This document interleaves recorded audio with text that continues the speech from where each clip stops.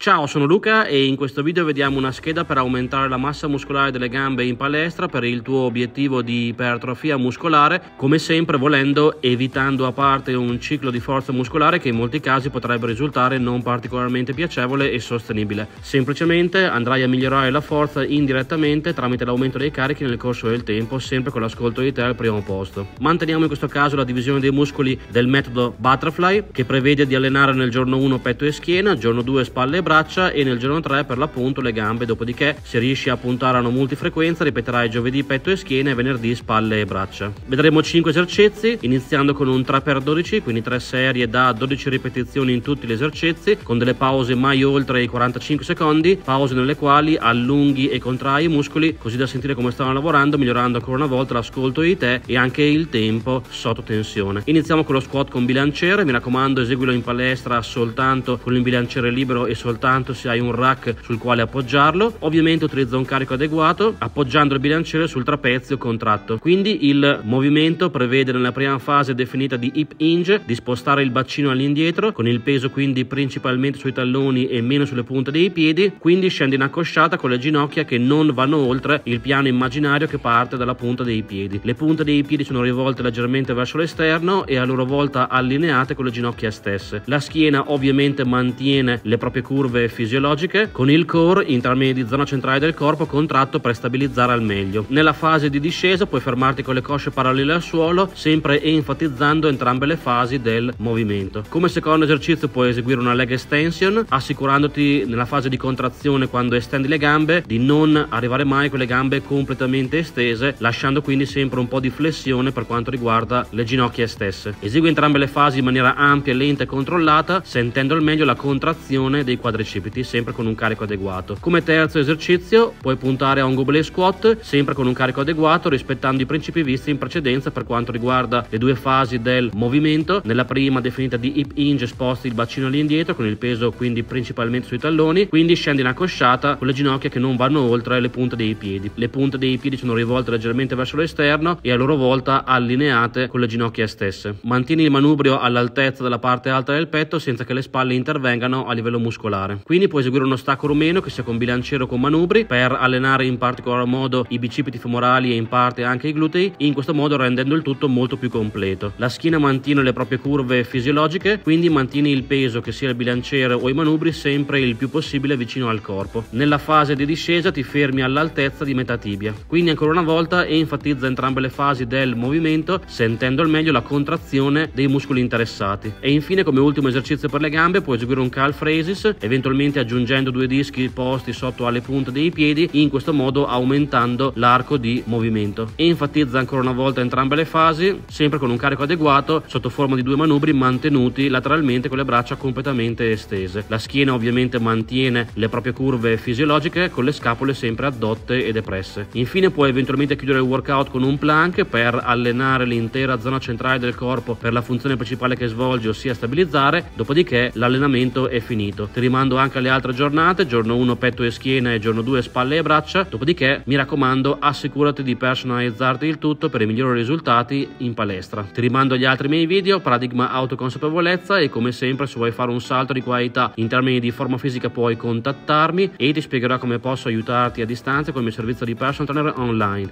Ciao!